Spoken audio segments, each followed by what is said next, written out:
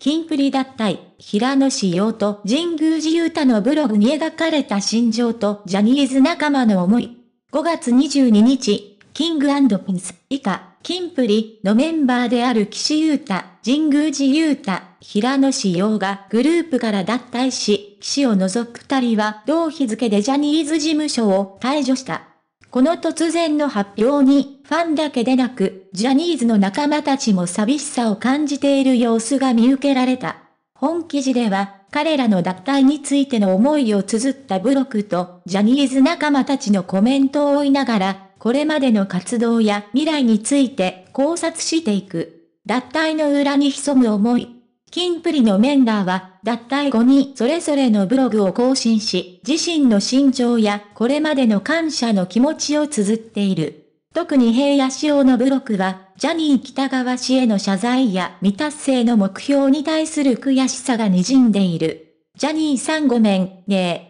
目標届かなかった。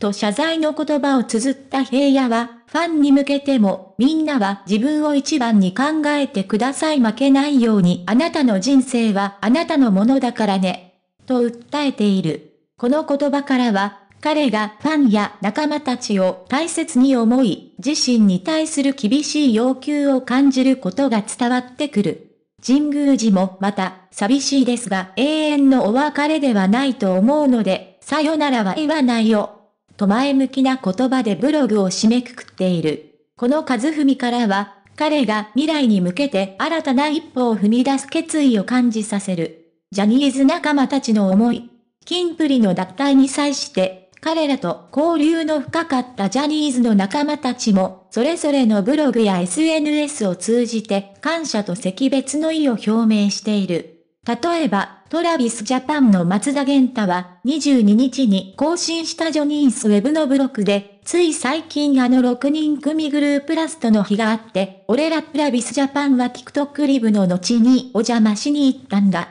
と振り返りながらキンプリメンバーの経緯を示している。彼はジャニーズ JR 時代からキンプリを尊敬しており、本当にすごい大好きなグループ、と翔さん。また、メンバーそれぞれとのエピソードに触れ、本人たちにしかわかんないけどいろんなことがあって本当にお疲れ様。だなって思ったんだ、と複雑な心情を吐露している。スノーマンの向井康二も19日のミュージックステーションでキンプリと共演した際の思い出を20日のブログで綴り平野とのツーショット写真を公開している。他にもシクストーンズの森本慎太郎、コーチユー我らも22日付のブログでキンプリメンバーについて触れており、彼らとの絆が深いことが伺える。ジャニーズ生との未来へ、キンプリメンバーの脱退により、彼らはそれぞれ異なる道を歩むことになった。しかし、ジャニーズ仲間たちのコメントやブログからは、これまでの絆が永遠に続くことが感じられる。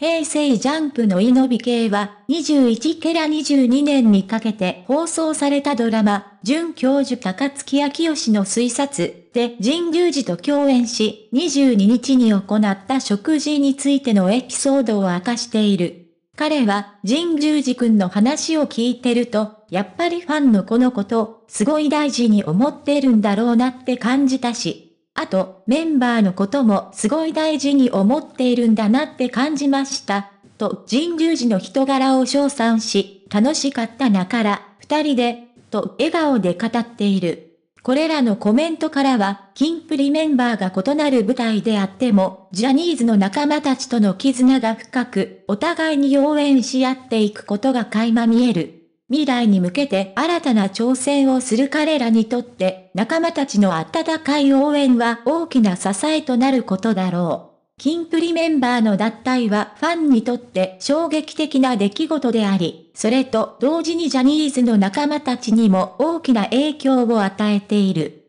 しかし、彼らのブログやコメントを通じて見えてくるのは別々の道を歩むことが決まったとしても、絆は永遠に続くという確信である。未来に向けて新たな一歩を踏み出すキンプリメンバーに対し、ジャニーズ生からの温かい応援が届くことを願ってやまない。